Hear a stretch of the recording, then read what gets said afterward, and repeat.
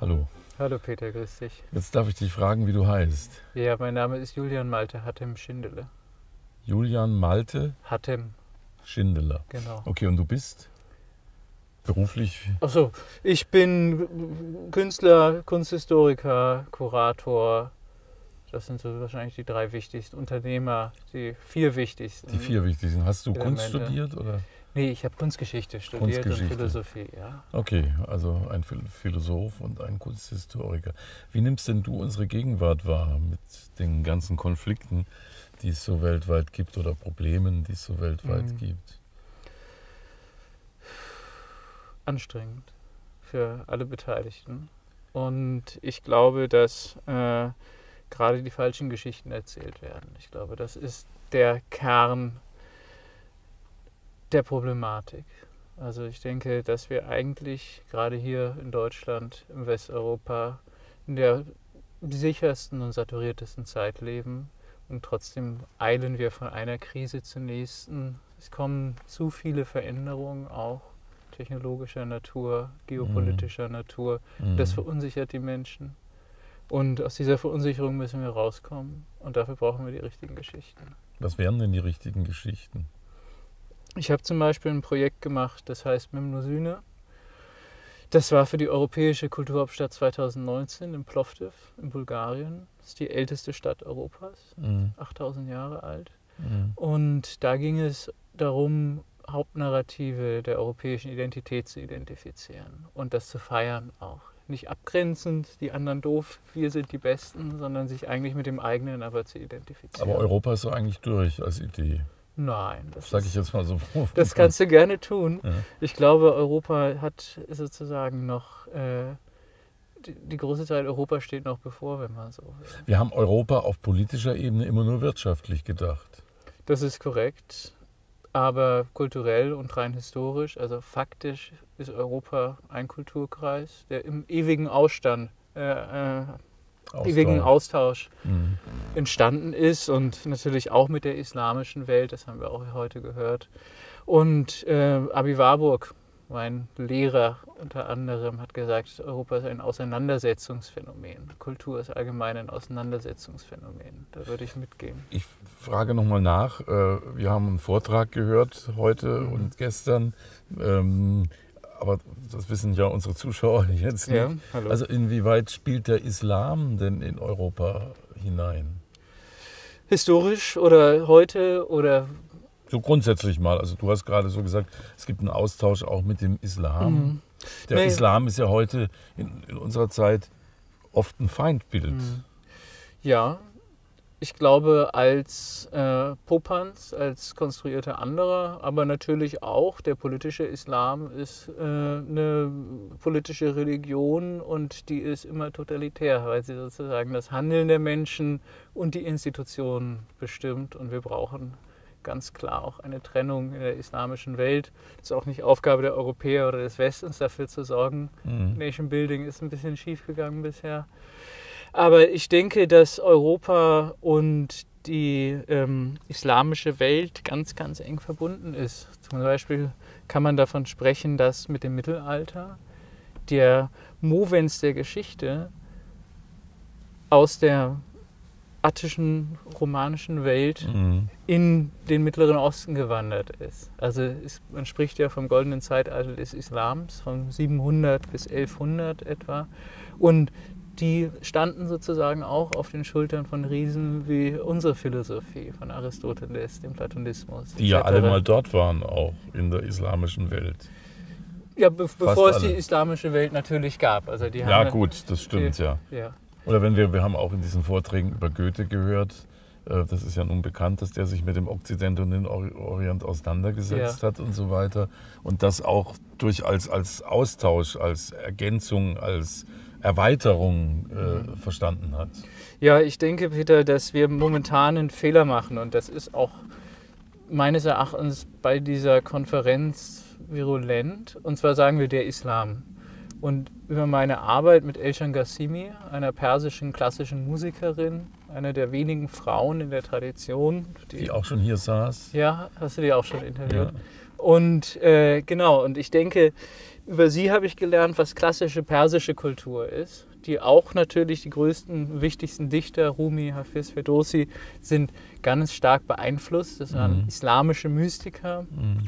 Zumindest bei Rumi kann man das definitiv sagen. Aber die Frage ist, was ist eigentlich klassische Kultur? Und das ist nochmal zurück zum Mnemosyne-Projekt. Das ist das, was wir uns heute fragen sollten. Was sollte überliefert werden und was sollte zum Beispiel auch aus der Türkei, aus dem Iran, aus Tadschikistan, aus Afghanistan, aus den Maghreb-Staaten, was sind da eigentlich die klassischen Elemente? Ist das immer nur Islam? Ist das immer nur Religion? Wie langweilig.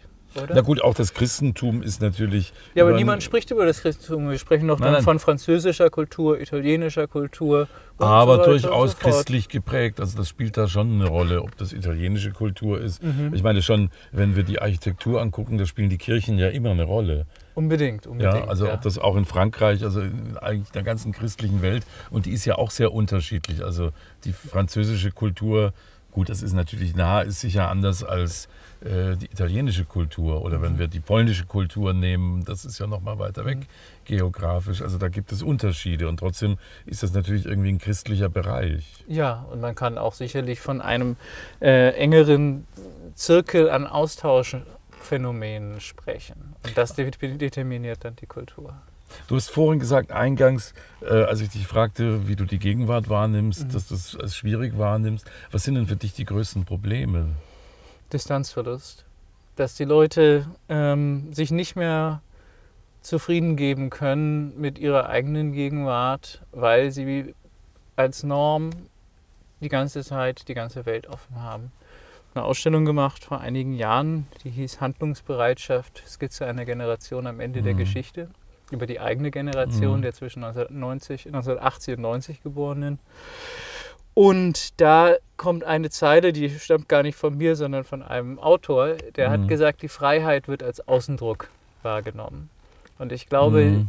die Leute müssen irgendwie lernen, mit Grenzen umzugehen, mit der Freiheit und gleichzeitig auch mit dieser, ähm, dass die Krise, wenn man jetzt auch, wenn wir jetzt als Deutsche gucken, was ist eigentlich bei uns Schlechtes und Schlimmes passiert in den letzten 30 Jahren, hätte sich ohne Medien überhaupt was verändert jetzt auf politischer Ebene? Muss man eigentlich sagen, nein, oder? Ja, wobei die Medien sind ja nicht nur die öffentlich-rechtlichen Medien, mhm. also das Internet, wo jeder selber reinschreiben kann und sich ja. einen Austausch suchen kann. Also es ist nicht nur ein Sprachrohr im Sinne einer Zeitung wo, oder, oder eines Fernsehers, wo etwas aufgegriffen wird und thematisiert wird, sondern das geht heute ganz andere Kanäle. Es gibt ganz andere Verbreitungswege. Absolut, und das meinte ich auch mit dem Verlust der Distanz. Ne? Also heute kann man unmittelbar alles wahrnehmen über Twitter. Der äh, der amerikanische Präsident, aber auch Erdogan, die ganzen ähm, Neonationalisten, die nutzen diese Wege und da kommen wir zu einer neuen Form von charismatischer Herrschaftsausübung. Ja, dadurch entsteht natürlich auch eine neue Form der Hysterie. Absolut, absolut. Ja? Ja. Also weil, ich meine, früher sind schlimme Dinge passiert, die wir einfach nicht mitbekommen haben. Ja. Das und heute identifizieren wir uns zu sehr mit den schlimmen Dingen und ich glaube auch, dass wir versuchen zu kompensieren und ich glaube auch, dass da so ein gewisses uns geht es gut. Und wie können wir, wenn wir gute Menschen sind, damit umgehen, dass es anderen Leuten schlecht geht? Ja? Und was tun wir? Wir fallen das, in Angst. Das ist wirklich, genau, richtig. Wir verfallen in Angst. Mhm. Und, und du hast recht, wir identifizieren uns zu sehr mit den schlimmen Dingen, die in den, ich sag jetzt mal, in den Medien aufgepauscht werden. Was heißt aufgebauscht? Das sind schon reale schlimme Dinge, aber jetzt war gerade diese Nachricht mit diesem Jungen, der da irgendwie vor den, vor den ICE gestoßen wurde. Ja. ja. Der Boulevard hat, glaube ich, durch das Internet äh, enorm an Präsenz gewonnen, auch in allen unseren Köpfen. Ja, ja. ja. Und wenn du, ich habe mir letztens noch mal die Bildzeitung gekauft, so ein bisschen lange nicht mehr die Bildzeitung gelesen. Und wenn man die aufschlägt, hat das doch eine frappierende Ähnlichkeit mit so YouTube und Websites. Also auch die Strukturen, die mhm. Emotionen und Gefühle, die da so aufsteigen. Ich habe lange keine Bildzeitung mehr gelesen. Das muss ich vielleicht mal machen. Ja. Aber das meine ich eben. Dass, da wird dann Angst auch geschürt durch das, wie das aufbereitet ist. Es ist ein schlimmes Ereignis. Es ist ganz grässlich. Mhm. Vor Jahrzehnten hätten wir das vielleicht nicht so mitbekommen, dass das dort passiert wäre. Unbedingt, da bin ich ganz bei Also es dir. gab natürlich Zeitungen, äh, die das vielleicht auch in irgendeiner Form berichtet hätten, vielleicht aber auch eher regional. Hm. Also das ist ein Element und man kann jetzt sagen, man sollte sich irgendwie so eine Mediendiät verschreiben. Machen ja auch immer mehr Leute. Das ist Ich- aber auch eine Medienkritik. Auf der anderen Seite ist es natürlich gut, dass wir wissen, was alles passiert in der Welt. Also was es für Konflikte gibt. Und es gibt auch durch diese Weltöffentlichkeit, denke ich, gewisse Regulatorien, dass Dinge nicht mehr so passieren können, einfach. Weil, also, also die Uiguren werden auch abgemurkst und in Syrien ist auch eine, äh, Schlachten immer noch. Aber ich glaube tatsächlich, dass sowas wie Ruanda heute nicht mehr möglich wäre in unserer Ja, Zeit. das mag sein, aber es passieren trotzdem schlimme Dinge. Du sagst es ja, Ja. gerade selber. Aber- äh, es verschiebt sich Mhm. natürlich und Aber ich würde sagen, wir müssen eher darüber nachdenken, was sind positive äh, Narrative, die wir etablieren können. Und es gibt ja auch einige Leute, die das gerade tun, ja, die sagen, okay, die Linke ist immer so kulturpessimistisch, ist glaube ich die Idee von dem Mhm. ähm, Steven Pinker heißt der. Mhm, mhm. Ein amerikanischer Gewaltforscher und Psychologe. Und der hat dann einfach mal Statistiken gesammelt in den letzten 200 Jahren. Wie ist das denn Mhm. mit der absoluten Armut 1800 gewesen, mit der Weltbevölkerung? 90 Prozent, 10 Prozent nicht in der absoluten Armut. Heute sind ein Drittel der Menschheit in der absoluten Armut. Was war die Durchschnitts, äh, das Ich Durchschnittsalter? weiß, ich weiß, heute so, kommen ne? die Leute alle mehr an Trinkwasser, als es Ja. in dieser Zeit war. Also es haben sich auch viele Dinge wirklich sehr verbessert. Ja, Das absolut. muss man irgendwie klar sagen. Und das ist richtig, dass, das meinte ich mit Hysterie, dass gewisse Dinge aufgebauscht werden, sie Angst erzeugen und dann zum Beispiel national- nationalistische Strömungen wieder erzeugen. Und ich kann das alles nachvollziehen auch. Also, dass die Leute Angst haben und sich wieder auf ihre Scholle zurückziehen wollen, weil sie auch ähm, keine ähm, Erfahrung haben der Sicherheit. Das sieht man ja jetzt gerade sogar in Ostdeutschland. Aber gibt es ne? überhaupt eine Sicherheit? Was Naja, ist denn Sicherheit? Naja, Sicherheit ist, wäre die rationale Einsicht, dass meine Existenz nicht unmittelbar gefährdet ist. Aber unsere Existenz, natürlich haben Natürlich wir kann auch... Meteorit hier einschlagen. Naja, gut, ich meine, es gibt natürlich inzwischen auch jede Menge soziale Probleme, auch in diesem Land. Also es gibt eine Armutsgrenze, die natürlich, äh, es mag sein, dass man weltweit gesehen, dass die Armut deutlich zurückgegangen ist, aber in diesem Land hat sie zugenommen. Das ist korrekt. Und es gibt, was die Umverteilung angeht, enorm viel zu tun. Und du brauchst eine äh, starke und bissige Linke, die das wieder auf ihre Agenda schreibt. Das wäre sozusagen auch mein Credo, dass wir irgendwie daran arbeiten müssen, anders umzuverteilen. Ja, absolut. Also, und es reicht ja, wenn die oberen 2% sozusagen, was heißt leiden, also, wenn- du unendlich viel Geld hast, ist es egal, wenn man von diesem Unendlichen etwas wegnimmt. Das ist bei diesen 1, 2% ganz, ganz oben. so. Unendlich ist es zwar nicht. Ja, ja, du verstehst Ja, ja. was ich, Ich verstehe, meine. was Also warum, woher kommen denn die, die, die Preise im, auf dem Kunstmarkt? Ja, dass jemand 100 Millionen für eine, eine Arbeit bezahlt. Man kann einfach nichts anderes kaufen, was da teuer ist. Also muss, die, muss das Geld ja irgendwo hingehen. Ja, das ist ja auch ein Spiel unter ein paar Leuten nur, die Mhm. sich gegenseitig hochsteigern und irgendwie ein Damien Hirst oder ein Richter oder was auch immer hochpreisen. Also da geht es ja auch um Rendite immer. Absolut. Und ich muss sagen, also der, der hier, der, ob der Salvator Mundi jetzt von Leonardo ist oder nicht, nehmen wir mal an, er ist von Leonardo. 400 Millionen ist noch viel zu wenig dafür. Vielleicht müssen wir das Geld abschaffen. Nee, ich glaube, das als Verkehrsform funktioniert eigentlich relativ gut, aber ähm, es bedarf neu, eines neuen Denkens, wie das Geld verteilt wird und ob. Ich weiß nicht genau, was jetzt kommen wird in den nächsten Jahren mit den Grundeinkommenvorstellungen etc. etc. Sind wir wirklich in, in sozusagen in einer Zeit des Paradigmenwechsels oder wünschen wir uns das nur? Ich kenne so Alt-68er, Mhm. die auch immer dachten, das Wirtschaftssystem oder das bricht jetzt bald alles zusammen und verändert sich und wir haben einen Paradigmenwechsel. Natürlich haben sich Dinge auch durch die 68er verändert. Ja, das ist eine, ein Siegeszug, der natürlich aber auch wieder dialektisch eingeholt werden muss. Also Oder schon Die- wurde auch. Ne? Ja, teilweise, aber ich denke, ein Paradigma der Moderne ist der Begriff der Emanzipation. Ja? Mhm. Und in den letzten 200 Jahren, wenn wir uns diese Erfolge der Emanzipation angucken, kann man nur sagen, Chapeau. Ja, das ist ganz großartig. Und jetzt sind aber die nächsten Schritte stehen an.